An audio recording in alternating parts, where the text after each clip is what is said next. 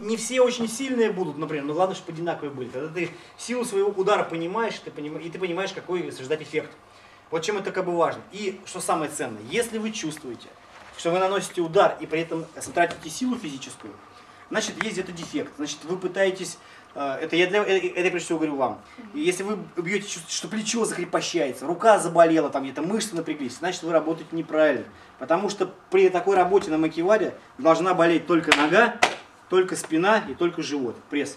Рука здесь не работает, она выстраивается именно при прямолинейной технике, когда мы им прямой. Когда боковой, там, конечно, подключаются мышцы все, которые держатся, стабилизируют конструкцию. Вот, и поэтому здесь самый главный показатель. Чем вы меньше затратили физических сил, но добили макивару до конца, тем эффективнее ваш прием. Значит, вы идеально выстроили свою конструкцию.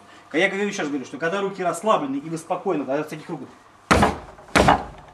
добиваете, не напрягаясь, значит вы работаете правильно. Противник вы должны бить так, чтобы не чувствовать, что вы забиваете силы. Сила, это значит вы себе мешаете. Вот тогда человек думает, я бью сильно, потому что я делаю вот так вот. Он уже сам себе мешает, он уже напряг и антагонисты, которые должны в ударе работать, и их антагонисты. Он затрачивает огромную силу, чтобы нанести удар, сам себе мешая. Ему кажется, что он бьет очень сильно, потому что он же очень сильно напрягся.